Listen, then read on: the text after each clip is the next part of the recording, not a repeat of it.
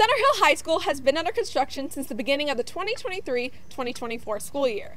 This need for expansion stems from the growth in student population and the courses that Center Hill has to offer. Assistant Principal Zach Sims, who oversees building maintenance, gave us some more insight on this extension to the school. So we were pretty excited. They decided to add four classrooms, and then they changed it to eight because one of the one section is also going to be a storm shelter. This new addition to the school begs the question: which teachers will get a new classroom and which won't? It's purely based on location and logistics that is beneficial to the teacher. Yeah.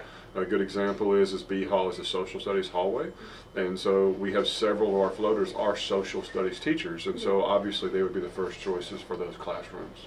The eight new classrooms are being added to the left side of the school on A and B Hall. Each hall will have four new classrooms. The school receives special funding for adding the storm shelter that is open to the community in case of severe weather.